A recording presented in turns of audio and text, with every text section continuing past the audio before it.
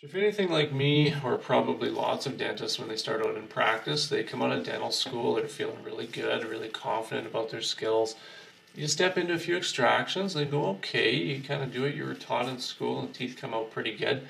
And then you run into a few where things do not go so well at all, and it is not fun. And then you run into that a few more times, and then you start to think to yourself, hmm, you know, there's got to be something wrong with these elevators or these forceps, or there's got to be better tools that are going to get these teeth out easier. And you start looking at everything except the person in the mirror or the one who's holding the tools, and just accepting the fact that maybe you need a little more education and a little more experience to be able to get teeth out properly. Now, in my quest for looking for instruments, I came across these things. And what I found was basically the 1C Coupland gouge elevator and an EL5 SX elevating luxator. This is a 5 millimeter elevating luxator. And you look at the ends of these elevators. When I saw them in the drawer, I thought to myself, I could use these to put my shoes on in the morning like a shoehorn. Why would I be able to use them to take teeth out? I could barely get my 301 elevator between the teeth. How am I going to get this thing between the teeth?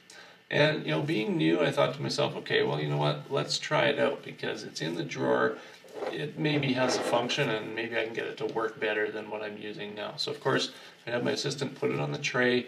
You know, we pop it out for an extraction. And of course, I'd be in there trying to wedge this between the teeth. And I'm thinking to myself now, you know, maybe this is better because there's a broader surface, and if I happen to be leaning on an adjacent tooth, I'm not applying as much force, and you know, I'm trying to justify why this instrument might be in the uh, supply area.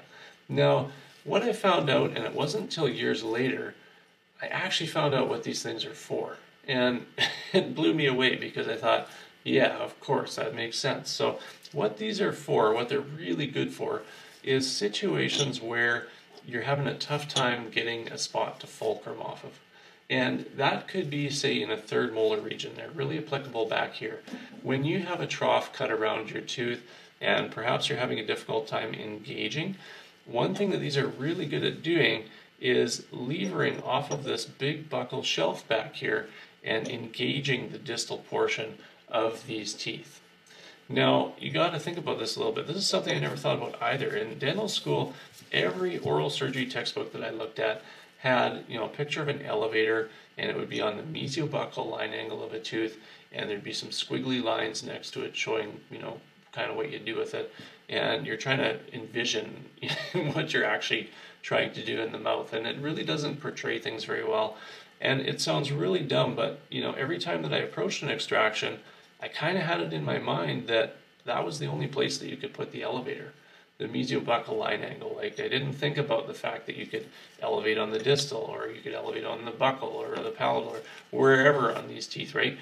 Anywhere that you can get that elevator and get a good purchase with a bony fulcrum, you're in business. And you can even cut directly into the tooth and sink a you know a cogswell or something into the center of the tooth, and then be you know controlling the tooth in all directions to luxate it there's all different ways of doing it. And distal buccal elevation is something that never crossed my mind. But when you're approaching a third molar, especially a vertically impacted third molar, let's say it's down a little bit, like it's somewhat erupted, but it's partly impacted and vertical, that's a great situation for these. You can get in under that distal undercut and fulcrum off of this bone. You'll get a great purchase on there to lift the tooth up and out.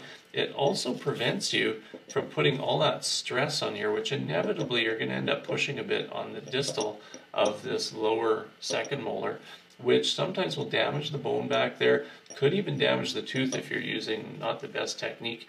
And that'll cause the patient a lot of sensitivity. So, by sticking to the distal buccal and using these larger elevators, you'll actually protect this tooth a little bit more and it'll help you to lift these teeth out. Now, if you have a slight distoangular elevation, same thing. It's great for that because actually now the tooth is leaning more that way. You're better able to get in under the tooth and catch some of the tooth to get a good purchase and then lift it up from the socket. So instead of putting these in your shoe room at home to put your shoes on, bring them back to work, sterilize them, and put them to use taking out some impacted third molars.